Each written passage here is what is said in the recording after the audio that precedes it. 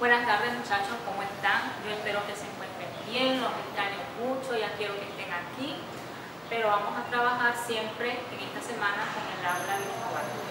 Bien, como les había este, dicho en la semana pasada, pues vamos a hacer eh, en esta ocasión un video sobre las ecuaciones exponenciales. Ya trabajamos en la semana anterior cómo graficar una una función exponencial, tanto de base A como de base E. En este caso vamos a trabajar ecuaciones exponenciales de base A y de tal manera que las bases se puedan igualar. Si no se pueden igualar, entonces habría que usar logaritmos, que eso lo vamos a estudiar posteriormente. Pero ¿qué es una ecuación exponencial? Recordemos que las ecuaciones son aquellas donde aparecen variables Ustedes conocen las ecuaciones lineales, las ecuaciones cuadráticas, pero aquí la palabra clave es exponencial, que tiene que ver con los exponentes. Entonces significa que la variable tiene que aparecer como un exponente. Por ejemplo, esta ecuación 16 igual a 8 a la x. ¿Qué pasa con la x? Está como un exponente. Entonces, para poder resolver ecuaciones de este tipo, nos vamos a valer de esta eh, propiedad que dice que si p elevado a la m es igual a b a la n, es decir, tenemos una igualdad de dos potencias que tienen la misma base, entonces significa que los exponentes m y n son iguales. Esto es fundamental para que podamos trabajar este tipo de ecuaciones. Entonces vamos a resolver la ecuación. Me dirán, el 16 y el 8 son diferentes, sí, pero los podemos expresar como potencias de base 2. En el caso del 16, el 16 lo puedo escribir como 2 elevado a la 4. Y el 8 lo puedo escribir como 2 elevado a la 3.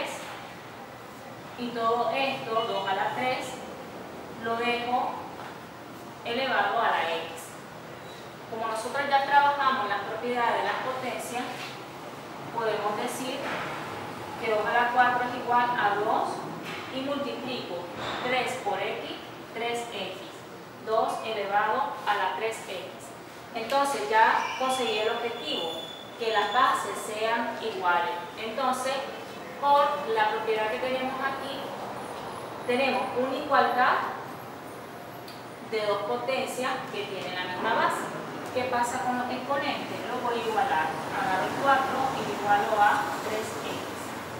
Y voy a resolver esta ecuación. Esta ecuación sencilla que me quedó es lineal y simplemente vamos a despejar. ¿Qué está haciendo el 3? Está multiplicando. Entonces pasa a la izquierda a dividir. Y de esa manera obtenemos el valor de x. x es igual a 4 tercios. Entonces, vamos a ver otro ejemplo. En el anterior, fíjense bien, la variable aparecía como exponente solo en la parte del lado derecho de la igualdad. Pero en este ejemplo vemos que la variable aparece como exponente tanto en el lado izquierdo como en el lado derecho.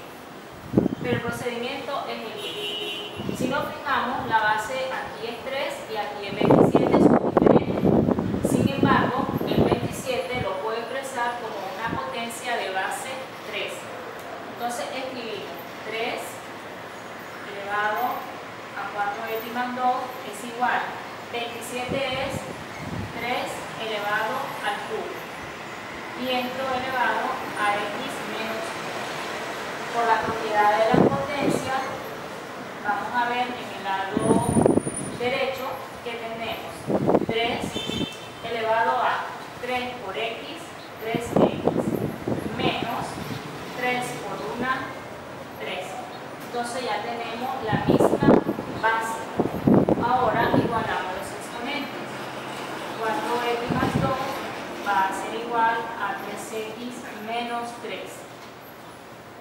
El 3x lo pasamos al lado izquierdo con signo contrario, menos 3x igual el 2 que está positivo lo paso al lado derecho menos 2. 4x menos 3x que se queda igual menos 3 menos 2 menos 5. Y de esta manera encontramos el valor de x. Bien, entonces vamos a ver un tercer ejemplo. Aquí si nos fijamos, en el lado izquierdo la base es 10 pero en el lado derecho tengo una fracción 1 sobre 100. Sin embargo, vamos a tratar de que las dos bases queden iguales. ¿Cómo? Transformando el 1 sobre 100. En primer lugar, el 100 lo puedo expresar como 10 elevado a la 2, 10 al cuadrado. Y esto, la fracción elevado a 4x menos. Pero, por las propiedades de la potencia, 10 al cuadrado lo puedo subir al numerador y me va a quedar con un exponente negativo. Escribo 10 elevado a la menos 2. Y toda la potencia elevada a 4x menos.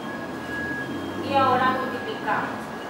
Y nos queda 10 elevado a la 2x va a ser igual a 10 menos 2 por 4x menos 8x menos por menos da más, 2 por 1, 2. Aquí ya logramos que las bases sean iguales.